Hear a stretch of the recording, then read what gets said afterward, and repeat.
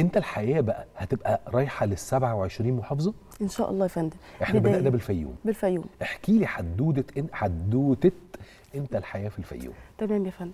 كانت بداية الفكرة إن إحنا نطلق فعالية تنموية موسعة. آه. هدفها التوعية والتثقيف.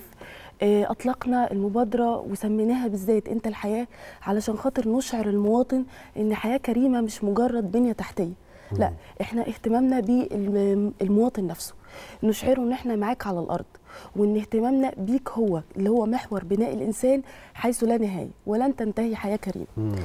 آه، لما ابتدينا إن إحنا نشتغل على الخطة التنفيذية لحياة كريم أنت الحياة اهتمينا جدا إن إحنا نجمع أكبر عدد من الجهات علشان خاطر نوري ال ال ال الناس وكافة المهتمين أهمية روح التعاون. لأن من أهم أسباب نجاح حياة كريمة هي آه، توحيد الجهود التنموية. اللي كان من أثرها إظهار النجاح العظيم للمشروع ده حتى الآن ونتمنى في استمرار نجاحه.